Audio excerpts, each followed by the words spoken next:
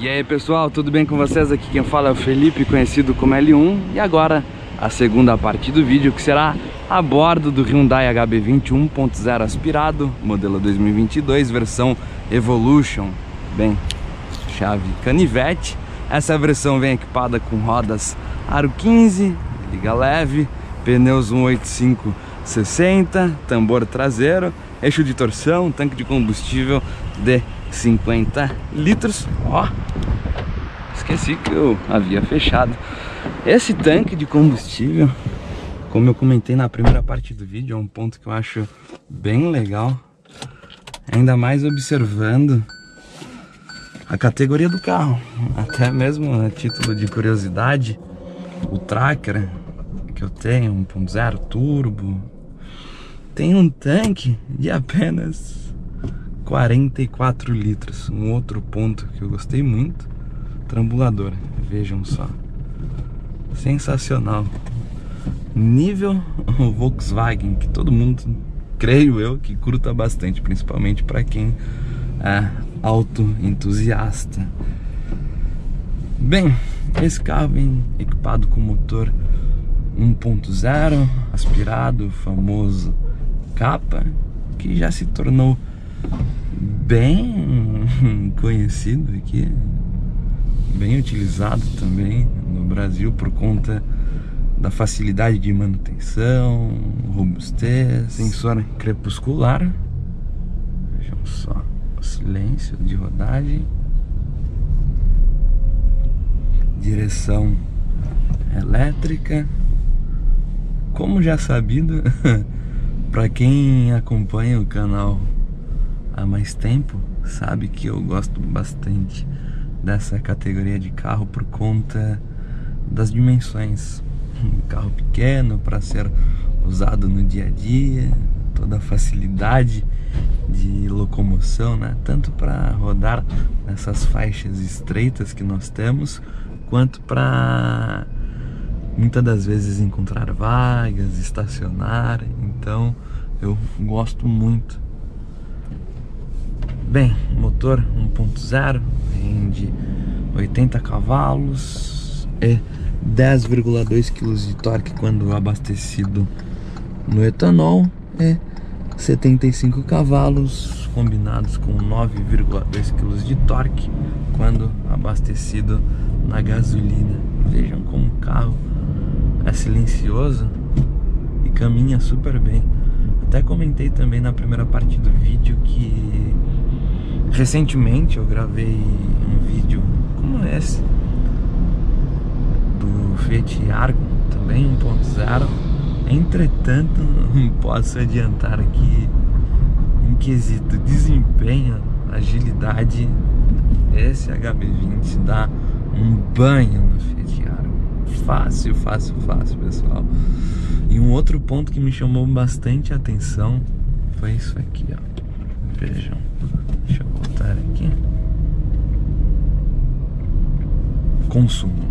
Neste exato momento, marcando 11,4 km por litro, abastecido no etanol.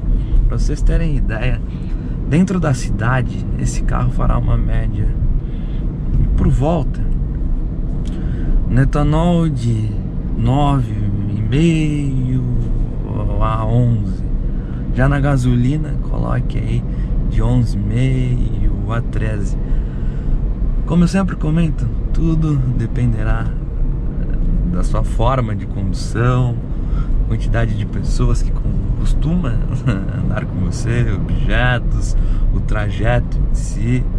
Então tem todas essas variáveis que interferem diretamente no consumo.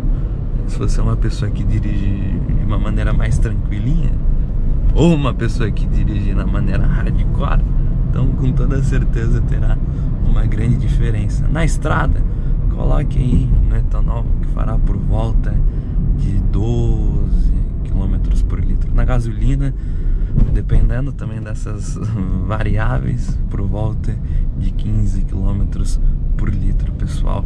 Uma coisa que eu gostei bastante também, além do desempenho, aquilo na relação peso e potência desse carro pesa por volta de 990 quilos, relação de marchas bem escalonadas e tudo mais, uma segundinha aqui para vocês verem como o carro é ágil. Fora o ronquinho característico do motor 3 cilindros também que eu gosto bastante. Uma coisa que mudou da água pro vinho comparado com a primeira geração que nós tivemos de HB20 no Brasil. Suspensão. Suspensão, comportamento dinâmico, mudou muito, pessoal. Como eu comentei, ah, eu tive o HB20S 1.6 manual. Um show à parte no quesito desempenho, motorização. Era um carro que desempenhava muito bem por conta justamente da relação peso-potência. Porém, o calcanhar de Aquiles era a suspensão. Para ser mais exato, a parte traseira. Qualquer peso adicional, carona, malas, compras, a traseira arriava com imensa facilidade ao passar valetas, lombadas, dava o final de curso, então dava aquela porrada seca.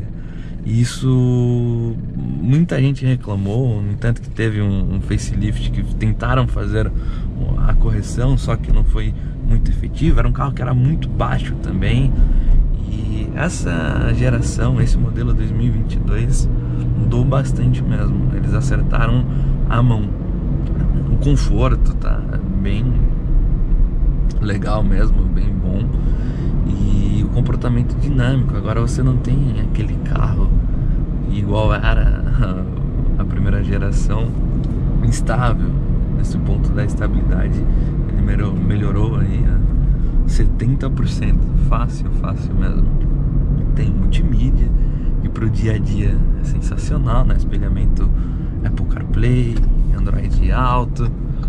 O carro é bem macio, pessoal. Não tem nem o que firular. É um bom carro é aquilo. Talvez na categoria, quesito custo-benefício, seja uma das melhores opções.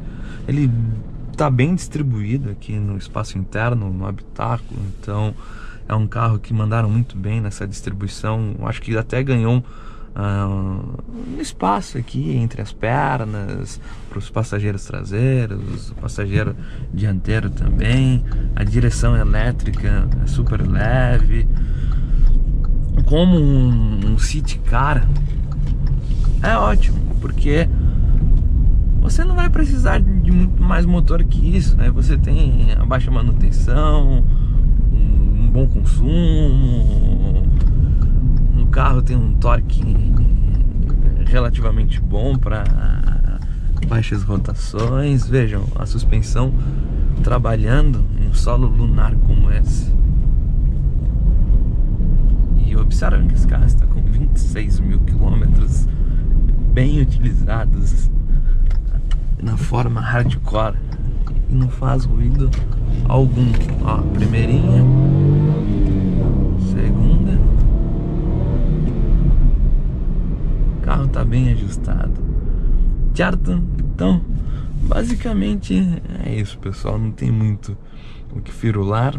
É um carro bom Acho que o que pega bastante é o quesito design nesse modelo em específico. Tem gente que curte, tem gente que não curte.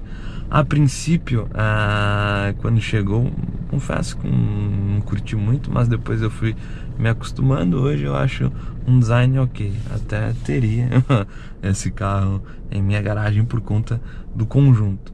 E se vocês pegarem o modelo 2023, aí sim eles acertaram a mão, ficou muito bem harmonioso e os números de emplacamento falam por si só nesse ponto, né? E é isso. Acho que eu não esqueci de nada. Caso vocês queiram perguntar algo referente ao carro, fiquem à vontade que eu sempre leio todos os comentários e respondo um a um. Certo? Para quem não é inscrito no canal, considere se inscrever. Para quem não me segue no Instagram, Suspensão Trabalhando, siga lá, arroba Limpex, lugar do Vi é o número 1. Um. Até o próximo vídeo. Valeu.